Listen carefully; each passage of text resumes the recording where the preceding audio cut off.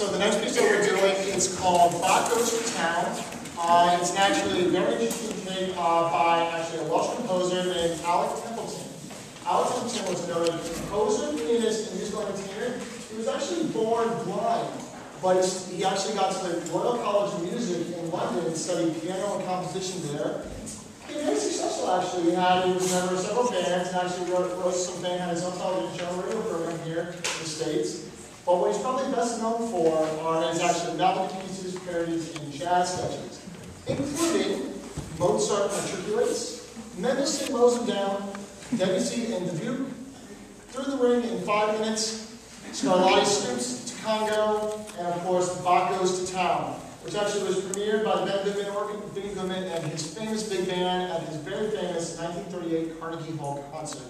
Uh, this arrangement that we're doing today is actually written for four clarinets by noted American composer and orchestrator Henry Brant. Uh, he actually, Henry Brant was a Canadian-born American composer.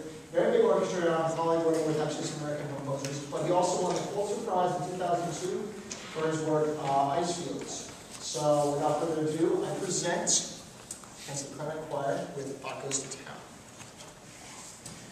Oh, and I forgot to mention, this is divided between prelude and fugue, so there'll be a short little break in between little bit.